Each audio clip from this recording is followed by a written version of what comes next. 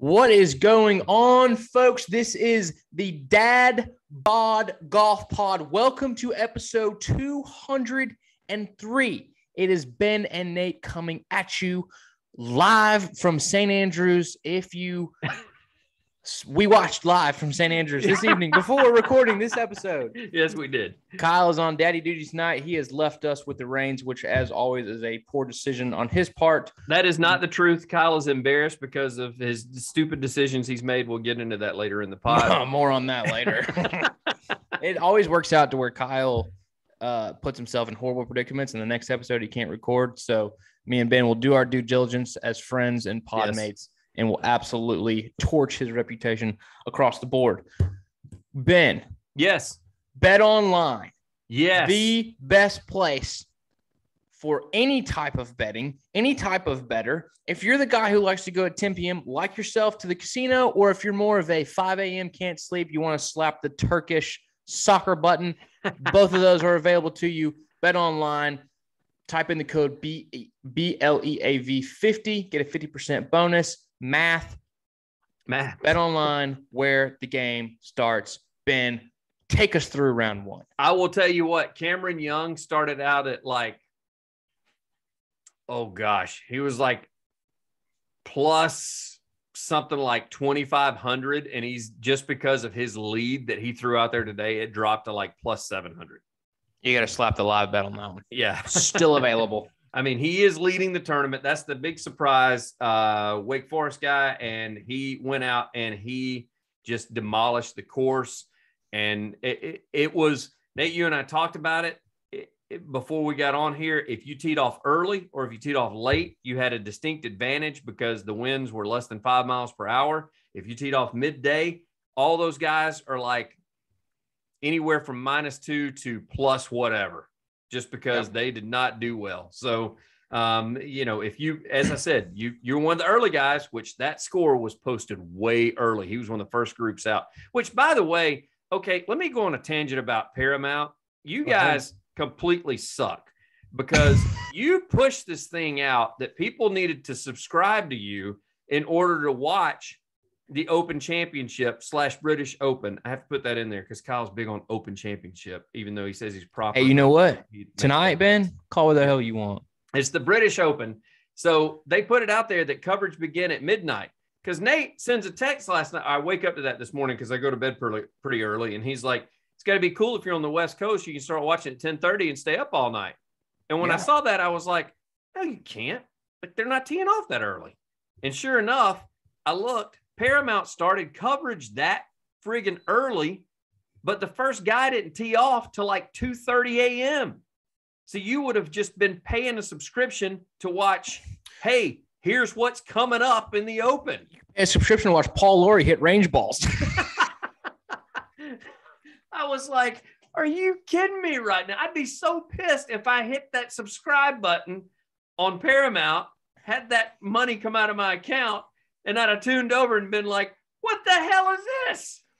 hey, but for real, let's get Sam Torrance to commentate everything ever. Yes. The next time I take a leak in the middle of the night, I would like Sam Torrance there in my bathroom, just walking me through it. I want Hey. I I want I think that those those the the British guys, the Scottish guys, the Irish guys need to be used more in the commentary. And the only reason Not being- just in the British Open. not just in the British Open. I, I'm just I'm telling you that, eh, eh, and and and I know people go, yeah, but Faldo Faldo's a pansy. We've already established that. Boo Weekley put that out there. Not us. yeah. Boo Weekley put that out there. I completely agree with him. Of course, he has turned in his resignation. He's going to be retiring, but I, for some reason, when those guys that grew up around those courses start talking about that as well as comparing it to American course because that was their dream to play in America and Right. play on American court. It just for some reason it just means more than the hoity-toity Chamblees of the world. And eh, eh you know, it, it, it- not that I don't like those guys. I do like Chamblee. I, I like his takes because he will say stuff that a lot of other people won't say.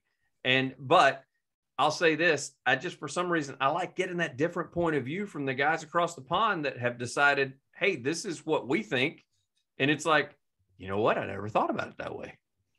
They just seem more artful. The some of the Yeah. British guys just seem more artful. Like like it's a it's a an honor and a pleasure it is to be calling that golf. Quick note about Paul Lawrie. Also, you mentioned Boo Weekley. So Boo Weekley and Paul Lawrie got paired together at some point in 2008 or 2009. The first mm-hmm. time Boo Weekley went over there, the comment about they ain't got no fried chicken, they ain't got no sweet tea. yeah. And Boo, Boo Weekley looks over at Paul Lord and he's like, "So how, how'd you qualify for this?"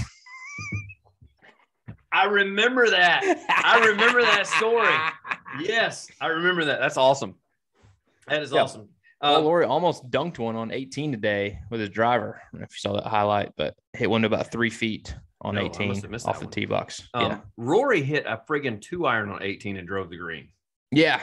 Like that's and how Paul hard. hit driver, so you know they're Yeah, that's how hard the the grounds are right now. I love it. I I think that they will make the course where you won't see the six and seven unders tomorrow. I think Mhm. you'll see it'll come back a little bit. Uh, and the only reason being is just because R&A has said we can't really do anything. We can they can speed the greens up. Number one, they can they always were do slow that. today. Uh, yeah, they Very said that they said day one was going to be right around a 10 or even a nine. So they can speed them up if they want. So that can happen. Uh, they can't, they don't have the irrigation system like Augusta National does. So they can't start sucking water Suck out. the water out of them. Uh, and even it's so dry out there apparently that they can't water the fairways because it will just end up in puddles and they don't want to do that. So Good gracious. we're stuck with the dry fairways. That's just going to happen. You guys can go ahead and get used to that. However, they can adjust the greens. So the greens can get firmer and they can get quicker. And they've also, the R&A has said that they are going to adjust some of the pin placements. Like it'll still be in that vicinity because they get a pin place or a pin sheet whenever they check in that says where they are going to be each day. However, that's just a quadrant they're going to be in each day. So expect some of these pins to be a little closer to the edge uh, closer to some probably hills and some some undulations that you know guys can't just lag it up there and tap in for par. They're going to make them work for it. And you see the the biggest difference I feel like in the fairways of a place like St Andrews and the American courses that we're used to. On number five, Max Homa, uh, Fitzpatrick, and Tiger, I feel like they all hit very similar drives, and this is where the the Sam Torrances of the world come in and give you some good insight. But one of them hits into a bump a little bit and it stops right there, and one of them hits on the downslope of the bump. They land five yards apart and they end up seventy yards apart. Yep. So now all of a sudden, Max Homa's got 198 in. He hit the same shot, landed five yards away from Tiger, and Tiger's got 242. So entirely different ball ballgame. And you cannot, that there's no, there's no skill involved in that. You can't pick where to land your driver 270 yards down the fairway in a, you know, in a three yard vicinity. So a lot of uh that's those are the things, and I don't want to get too into this yet, but those are the things that Kyle just doesn't he doesn't compute that when he you know makes No. these outrageous claims. No, because I said I was telling a buddy of mine at work about that. He was asking about it, and I said, "Well, the, the difference is," I said, "St. Andrews is a little bit different, but whatever course it was, I forgot which one Tiger won on one of his other Open Championships that he won. It- he didn't hit a bunker all like all four rounds. He Yeah. stayed out of everybody, and he's and he said afterwards they asked him about it. They said, "What was your goal coming into this week?" And he said, "Not to three putt and to not hit in a bunker." and he didn't do either and he ended up winning the open championship at that time so um, it's the same with this like you just have to avoid the bad shit like that's the that's Which the it's avoidable. Yeah it is i mean it's it's why and especially when there's no wind if if all of a sudden saturday rolls around and it's still calling for winds less than 15 miles an hour if winds kick up to 30 40 miles an hour though it, we're going to see carnage over the weekend No doubt. because the greens are going to firm up. They're going to shave them a little bit closer. So they'll be quicker each and every day. And if the winds pick up on the weekend, all these six, seven, eight unders are going to start coming right back down to the field. Yep. You'll be, you, and it'll be like the US Open. You'll be grinding for pars. Yeah. You will just be absolutely 73 is going to be the, the low score of the day if the wind gets up there. I mentioned And- Tiger. Tiger, terrible start. Bad. I don't, the whole in a divot thing, if you're, if you've won 15 majors and your ball lands in a divot from 115, you got to be able to not chunk it. I mean, it barely made it to the burn. That's the thing is they they they said, well, it's bad luck you hitting a divot. And I'm thinking, pins on the front, the green is like 70 yards deep. Yep. Has a Club- 115 club player up, bub. 125 shot. Yeah. Yes. Like, what are you doing? Like, the, the one thing you can't do is be short. Rahm almost did it. Rahm almost did the same thing. And they talk about how tight those lies are. So I mean, I get it. He's in a he's in a divot. He's also on a, a dry, tight fairway. But like that doesn't you it, it doesn't it doesn't it shouldn't matter. It Shouldn't matter. I'm not saying that you should still be able to stick it to 10 feet like you would without it being a divot, but you should have a 20 footer for birdie behind the hole all day. all No, day long. Anybody in that field should be able to do that. Brooks Koepka said it best when they asked him about his take when he goes into majors. And he said, Well, I take each major differently because they all play differently. He and he used this, and I think that that's what the that's what guys guys get greedy because they need to do what Brooks said that he did. Not that I'm saying that Brooks is like the golf god, but he said on the U.S. Open, major champion. yeah, he did. Yeah, exactly. Uh, he said when it comes to the U.S. Open, every hole he plays, center of the green is all he's looking at doing Mhm. until he gets specific lies and specific hole placements that he thinks he can get after it. He's like, all if I- Patience. he's like, if I can just stay around par and take advantage of short par fours, short par fives, short par threes, and then throw it at the stick, that's one thing. But other than that, and I think on the conditions today, that's what Tiger, when he talked about he's been out of competition golf, I think that's what affected him. Like he should have looked at that hole on one and been like, crap, I'm in a divot, center of the green. That's all I need. Par. Yep Just gotta take your a par, move on to number two. And so I kind of wonder, uh, it's going to be tougher to make the cut because uh, I think that cut line, Kyle, did, I will say Kyle's probably right on that. That cut line is probably going to hover around even one, two under. Uh, it's going to be tough for Tiger to waltz out there tomorrow and shoot six, seven under. And so um, he's probably not going to make the cut because he ended up having a bad day today. His putting wasn't great, which again, competition golf. It's one thing to practice putting over and over and over. It's different when you get in the heat of the moment. He had a bad day, and I hate it for him because that was our thing. Is people were like, he's he's got a chance to possibly win. I'm like, he does not have a chance to win. Okay, we're just trying to get this guy through the cut, and I don't know that he's going to make that now. We just want to watch him play on the weekend. We just we want to sit in our boxers on Saturday morning and watch Tiger tee it up. Probably the first group out, but we just want to see it. and and and good for good for St. Andrews as well as the fans over there that are kind of trying to push him through. He has said he doesn't know with his leg. This may be his last time playing. Uh, they're playing again there five years from now. They want him back. They've already said uh, you need to get healthy because we want you back. Like that can be your last time out. Five years from now can be your last time out. And they're gonna get. They're. gonna- He's gonna get the invite. He's just got to stay healthy in order to do it.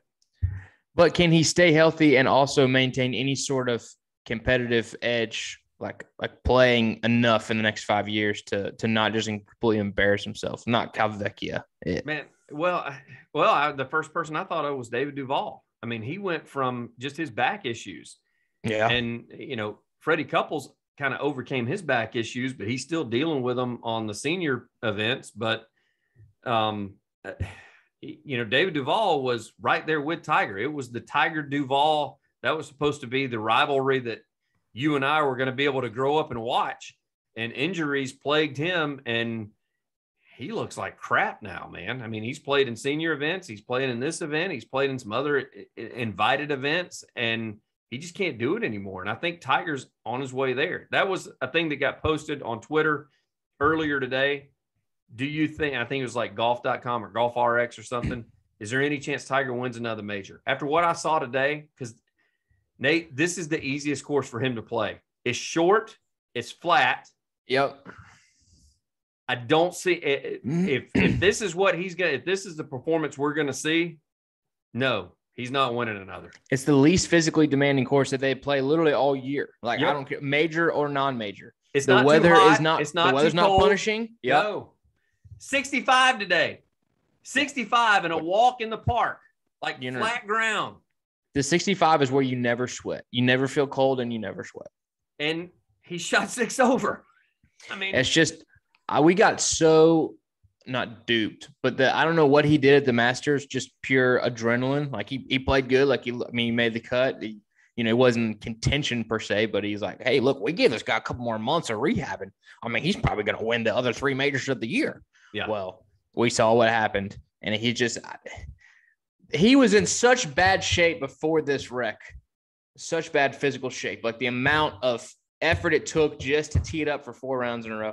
I mean, we just we say it till we're blue in the face, and nobody wants to admit it. But like, it's it, the, the the window is closed. Yeah. The unless you want to do some Tom Watson when you're 60 and go down the line with Stewart Cink. it's just now this is now the British Open is where that can happen, right? Yeah. British Open is the only place where a Tom Watson's going to show up at 60 years old and go to a playoff with Stewart Cink. But it's I don't think that's in Tigers. I just don't think that's in his his realm. And see, we talked about that today. Uh, a, a, guy from work that was talking to me about it, and I said because he mentioned the Watson thing, and I said, you know, that's fine, but he still he had like a four shot lead heading into the final day. Yeah, and fatigue what? got him. Fatigue got him on the final day on a flat course on you, a place that you can hit a five iron 250 yards because you can just hit it down the fairway and let it run out. And even at 60, those guys can do that. And it still got him. So Tiger's going to run into that because here's what if Tiger can't play a course like this, U.S. Open, he'll st- he'll still be able to play Augusta just because Augusta has its moments that you can. He knows his way around the course. He knows it like the back of his hand. He'll do fine at Torrey, but other than that, these other courses that they've lengthened out. I mean, yes, he still can get off the tee at 290, and everybody's like, he gets off at 290. I'm like, yeah, there's other guys getting off at 330. Like, yeah. I don't know what to tell you. Bethpage would kick his ass. Yes. There's no uh, chance he does worth a damn at Bethpage. Yeah. I'm trying to think of where else they play. Um, what's the uh the church pew bunkers? Uh Oakmont? Yes. Oakmont, which I mean, it just these he's just getting left in the dust. And, and so it's it's age, it's health. Um, I mean, just to relate it personally, we're coming up on like the one year anniversary of when you started doing the pod because I had an appendectomy and was out. Mm-hmm. I'm not hitting the ball the same that I was two years ago because of my age and not recovering from that. This guy got his leg almost amputated. Like after I, having a broke having a broken body before he even got in the Genesis that morning. Right. Like body was broken before he even stepped foot in the car. And see, before I had my appendectomy, this was primo, baby. This was this was quality stuff. Speaking of primo, this was, sexy. This was, this was sex shit. walking. This was sex walking. Now on the tee, sex icon Benjamin Taylor. Thank you. Speaking of sex icons, head on over to swannies.co. Mm-hmm. Listen, folks, this new age of golf apparel, which is taking over the nation. Ben's a part of it. Kyle's a part of it. I'm a part of it. It's no longer stripes and some argyle, folks. We have got absolutely 100% great content coming from the Swannies guys, head to toe. Great hats, polos, pants, shorts, you name it. They got it. What is our coupon code on that one, Benjamin? Uh, Dadbod Golf Pod dash 25. Dash 25 gives you 25% off. It's already very reasonably priced. Give 25% off for that little sweetening of the deal. Check out the shirts. It's the kind of stuff that you order and you cannot wait for it to get to the door. Lock and load, swannies.co, where fashion and sexual icons start. Ben, if you now? have a, what's that? Where to now? Kyle's dumb takes. Uh, I was just going to run through the leaderboard just a second, just to call out if you want to pull up the leaderboard. Uh, yeah. Real quick, uh, Rory, a real quick question for you. Over under even par tomorrow for Rory because we just we we've seen it a thousand times. Will we be duped again by Rory?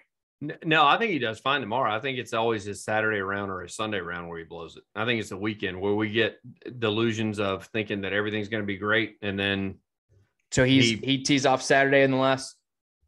I think groups? he I think he te- yeah, I think he's in one of the one of the last five groups on Saturday. Um, and then I think Saturday he lays I think he lays an egg on Saturday. Uh, they call Saturday moving day, I think, for Rory McIlroy. I think he moves down the leaderboard on Saturday. Takes the U-Haul right on down to 40th place Cam Smith, my boy. Yes. Got the good draw, which I hate saying that. I hate the good draw, but it is what it is. Uh, five under, uh, and then uh, a couple of whatever the hell you catch in the Northern Sea with some uh, spinner bait. I kind of wonder what he is fishing for up there. uh, trout or maybe some carpy or Get, some Alaskan crab. He's getting the big king crabs. Um, Um, Theegala impressed me. Excited about him. Theegala had the best walk-in putting on the man today. How about the? I don't know if you saw that highlight, but he thought he had missed it from about 25 feet out. So he starts walking about halfway there. It ends up falling. And even the commentators were like, did he walk that in because he thought it was in, or did he walk that in because he thought he'd missed? And Justin Leonard chimed in, and Justin Leonard was like, oh no, he thought he putted it off the green. Yeah. and he's a passionate guy. Theegala is a, a Yeah. emotions on the sleeve kind of guy. Barclay Brown, uh, real quick before we move on to um, Kyle being a doofus. yeah. Barclay Brown, cool, calm, and collected to a four under round, five birdies and a bogey.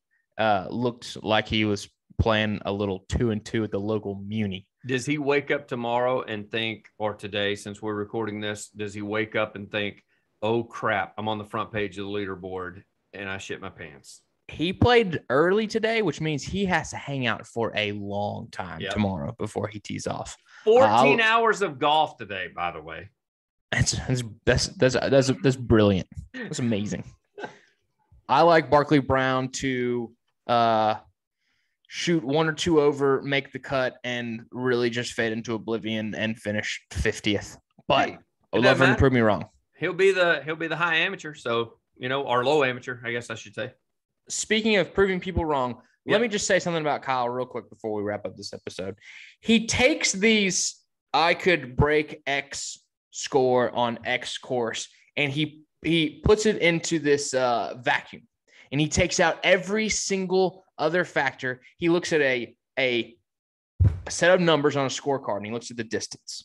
And, and that's pretty much all he looks at. It's a short course and uh and there's no water. Because Kyle, and you know why he says that? Because Kyle sprays it all over the place. So He if he does. finds a place where he can find it, which by the way, that fescue is no joke for somebody. Not like just Kyle. fescue, he doesn't understand that course has out of bounds, and he's gonna go out at least twice. Yes, and this whole like he texts texted today saying like, "Hey, I can drop out of the bunker and uh, get a one-stroke penalty." Okay, that's a bogey. If you don't get up and down the bunker, maybe a double. This is not a joke, dude. Sepp Straka, a PJ Tour winner, shot 81 today. That this is, and the wind picked up in the middle of the day and then dropped down. That's St. Andrews. We can't Yeah. take one weather report and be like, "What's going to be five mile an hour winds?" Look, go ask, go ask all those guys. Go ask Tiger Dadgum Woods how he felt about a six handicap breaking 80 today. He did not give me permission to use his name, so I won't use it. But talking to a tour pro, DMing. Really? Yep, DMing a tour pro. He says Kyle doesn't break break 100. Whoa. I feel slightly bad about giving him no uh, leg to stand on here to defend himself, and we will allow him the, the chance to defend himself come Monday. But uh, Yeah. but what, 100. what what's the wind? What, what do we do? We give a, a win situation? Uh, no, it, it- that was that was without. I, I explained that to the pro when I was DMing him. I was like, "All right, so low winds, everything." He goes, "No, I'm telling you, playing it down, rolling it out with same conditions as the pros are playing with too. Like have people standing there, have people watching, that kind of thing. Does not break a hundred. Has Kyle? I mean, uh, has this this anonymous pro played St. Andrews? Yes, Okay, I was gonna say you I mean you got to have some. You got, I mean you can't just come up with that. Yep. Just out of the blue. He said, throw the yardage out the door, throw all that stuff out, throw the wide openness out the door. It is completely different. It is and different. all the It's different sight golf. lines, Yes. all the blind shots, the tight all the bunkers that you do get in, the He said tight lies. He was talking What if you many- hit a what if you hit it thin and you have a 150 foot putt? You could four putt. Yeah. It might be a good four putt. So it, it's it's one of those. He said, and I said, well, because that was my. I even actually defended Casa. I think he breaks hundred. I mean, Kyle hits it far enough on a on a 6,800 yard course. He's going to be close enough where he can pitch and putt it around to shoot 95. I mean, that I think he breaks hundred. I think he Um, can break 100. I might even think he could break 90, but breaking 80 means it it's straight up, like Yeah. putting everything out. You gotta you gotta more you gotta play your ass off pretty much everywhere to break He's- 80 legitimately. He has got delusions of grandeur. We can talk about him because not because he's not here. We talked about him. eh, That's the thing people worry about is listen. We tell it to his face like we tell it to his back. All right, we. It's true. Yeah, he is. this is, I would say all this to his face. I would actually be meaner Yes, if he was eh, here. yeah, we would be a whole lot meaner. So uh, I will say this: one thing that he can do to help him out is he can grab his blue tees. Uh, I we I want to thank uh, Denver who listens to us. Uh, Denver grabbed him a blue tees Denver. and he grabbed him a speaker and he used the dad bod discount code and he was able to be able to use that and and secure his blue tees i got pink uh and and you should go ahead and get there it is right there part of it that's part of the uh that's that's the Oh, that's that's the allure cleaner. right there. That's That's, the- the, hook. that's, that's the cleaner The hook. that's the cleaner That- that's the three max baby three max go ahead and grab that blue tees today and uh and and and you will not regret it because even though nate doesn't like slope trust me you're going to need it except if you're playing st andrews because they don't have anything that's up and down every Turn it off. Hey, Yep. but you know what you might have to do at St. Andrews? You may have to pull that puppy out for a putt. Yeah. You know, imagine, imagine, but hey, could you like you're putting like, hey, can you shoot that for me real quick? I don't know the stat, and I'm going to say this real quick. So this is ignorance that's talking. I want to say that they said it was either like five or seven greens that are over 100 yards wide. I, I don't, I, I don't think that's an outlandish statement. I mean, I'm pretty sure didn't Matt somebody chipped off the green today. Someone had like a 150 foot putt and chipped it. Just- That's insane that I could be on the other side of the green and I have to take a full lob wedge just to get to the other side of the green. just a little, just a little pitch and putt. You know, got up and down from a two putt, an up and down two putt. Wow. So, uh, hey, we got to get out of here because I didn't upgrade. We didn't sign under uh, Kyle's uh, thing. We signed we signed up under mine, and I'm cheap, and Nate's cheap, and Kyle apparently is filthy rich because he's not hanging out with us tonight. But that's cool. Uh, but we do want to thank Blue Tees and Swannies, and we also want to thank BetOnline.ag and all the money that Kyle leaves us from time to time. And he also owes us a six pack of beer apiece, which is awesome. So, Dad Bod Golf Pod. Always.